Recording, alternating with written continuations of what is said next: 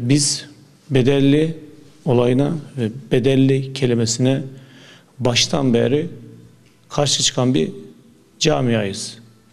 Şimdi 30 bin liraydı, 15 bin liraya düştü. Çeşitli rakamlar zikredildi.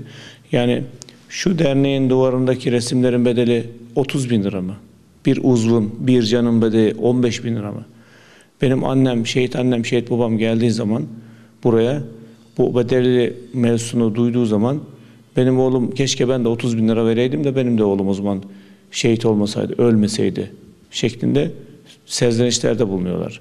Onun için biz e, vatan sevgisinin, bayrak sevgisinin 30 bin lira, 15 bin lira veya her ne paraysa e, parayla ölçülemeyeceğini her Türk gencinin gidip o kutsal peygamber ocağında askerlik görevini hangi rütbede olursa olsun yapıp gelmesini eğer alnına şehadet yazılmışsa o şehadetini yaşamasını gazilik yazılmışsa gaziliğin onurunu tatmasını biz de istiyoruz. Ki kaldı ki ülkemiz kaynayan kazan gibi bir durumda.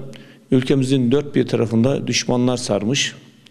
Ee, Güneydoğu'da teröristlerle mücadele, e, Suriye, Kıbrıs, Kıbrıs'ta da biz asker gönderiyoruz.